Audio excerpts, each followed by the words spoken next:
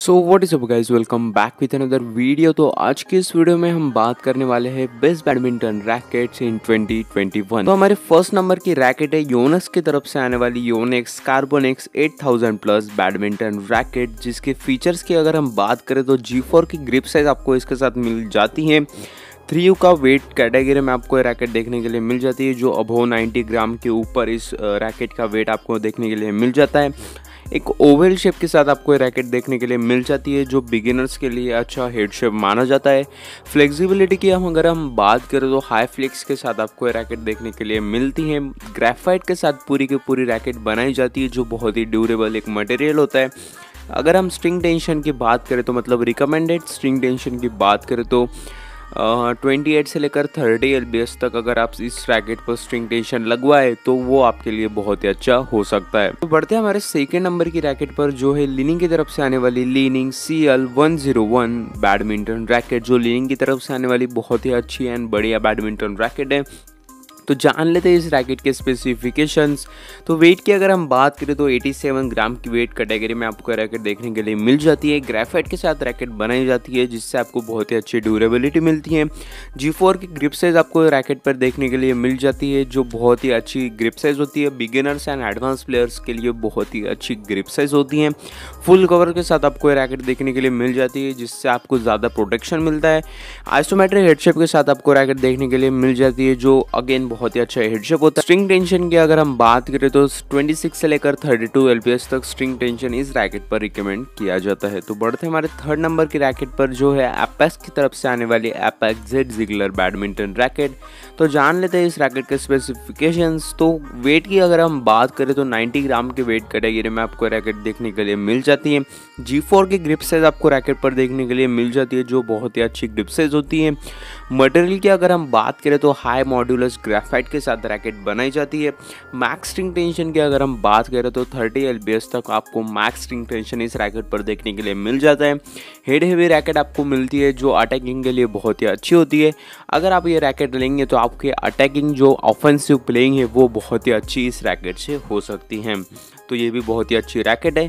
तो बढ़ते हैं हमारे फोर्थ नंबर के रैकेट पर, जो है एपेक्स की तरफ़ से आने वाली एपेक्स फिनापी 232 बैडमिंटन रैकेट तो जान लेते हैं इस रैकेट के स्पेसिफिकेशन अगर हम ग्रिप साइज़ की बात करें तो जी फोर की ग्रिप साइज़ आपको रैकेट पर देखने के लिए मिल जाती है। वेट की बात करें तो थ्री का वेट आपको इस रैकेट पर देखने के लिए मिल जाता है, जो अगेन नाइन्टी ग्राम के ऊपर वेट कैटेगरी के साथ आपको रैकेट देखने के लिए मिलती है। आइसोमेट्रिक हेडशेप आपको रैकेट पर देखने के लिए मिलता है, जो एडवांस प्लेयर्स के लिए बहुत ही अच्छा हेडशेप होता है।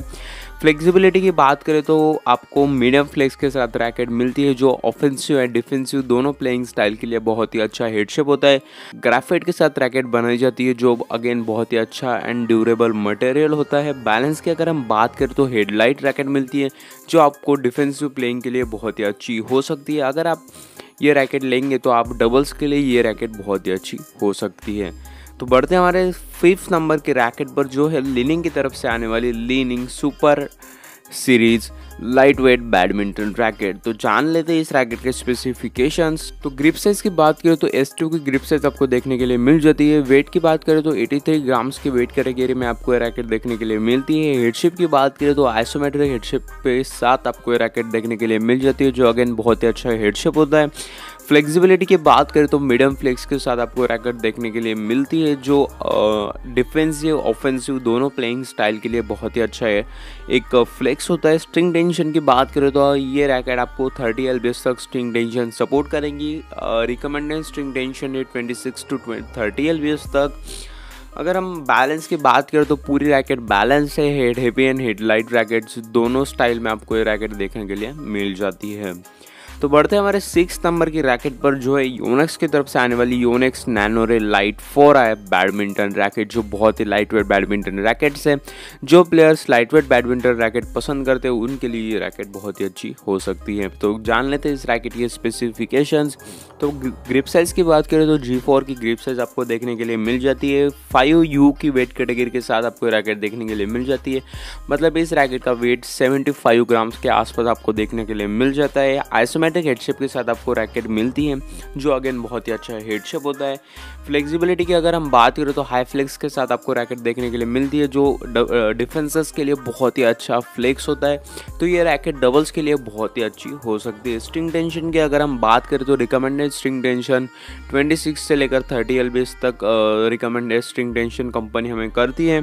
अगर हम बैलेंस की बात करें तो हेडलाइट कैटेगरी के साथ रैकेट देखने के लिए मिल जाती है, जो डबल्स के लिए बहुत ही अच्छा हेडशेप होता है। अगर आप रैकेट डबल्स के लिए देख रहे हैं तो ये रैकेट आपके लिए परफेक्ट हो सकती है। तो ये थी आज की वीडियो अगर आपको वीडियो पसंद आई तो वीडियो को एक लाइक ज़रूर कर देना। चैनल को आपने अभी तक सब्सक्राइब नहीं किया होगा तो चैनल को भी सब्सक्राइब कर लीजिए और दबा दीजिए बेल आइकन को, उससे आपको नए आने वाली वीडियोस की नोटिफिकेशन सबसे पहले मिल जाए। तो मिलते हैं नेक्स्ट वीडियो में।